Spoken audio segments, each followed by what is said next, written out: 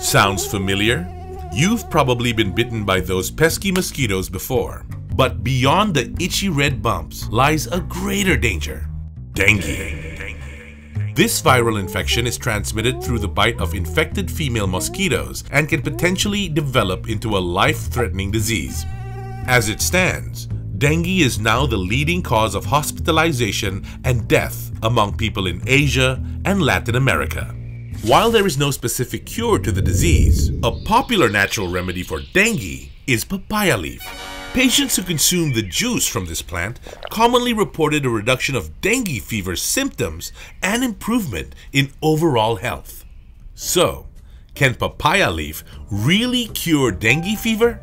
Carpaine, a bioactive compound found in papaya leaf, has been shown to increase blood platelet count and help reduce internal bleeding. But how do we scale carpaine extraction from papaya leaves so hmm. patients all over the world can consume it? Associate Professor Dr. Hii Ching Lik from the University of Nottingham, Malaysia is heading a research program dedicated to finding the best way to extract and preserve carpaine from papaya leaves to be made into fast-acting pills or syrup for dengue patients to easily consume. We are still improving on the method extraction. We are still researching on different parts of the papaya leaf and how much compound can we extract from this uh, different part of the papaya leaf.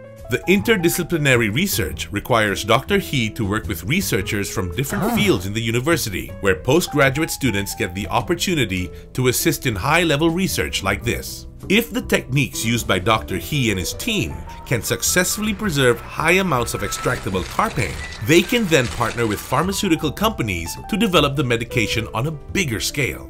This will be a medical breakthrough in the treatment of dengue and can potentially save many lives.